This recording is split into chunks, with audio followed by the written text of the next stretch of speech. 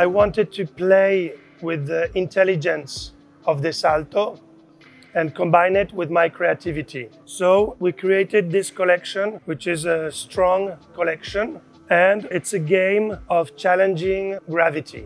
It's a way to work with what is unexpected. I try to find solutions that are not evident, move what should be the evident solution to somewhere else, and surprise the user in a very light way, in a very harmonical way, but also very minimalist, very strong.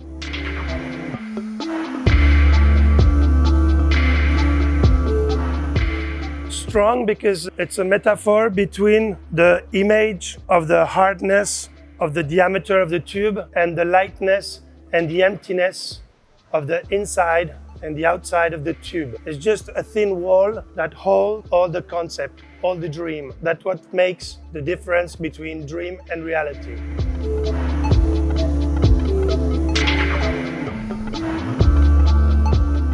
The colors from Desalto story. So we adapt to this collection. It's the first colors. Then we will see new colors coming.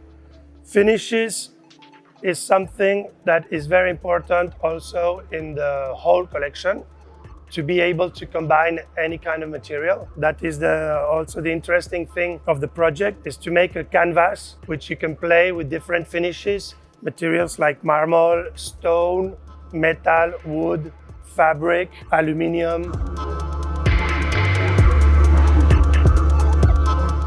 My collaboration with Desalto started last year for the first time, and it's been for us a very nice and intense story. We started with uh, the first proposal, and little by little, we went deep into the project all together, my team and Desalto team, and we explored all this large family, which we made a very hard work, and uh, we are very proud of this relation, how it started and how it's going on.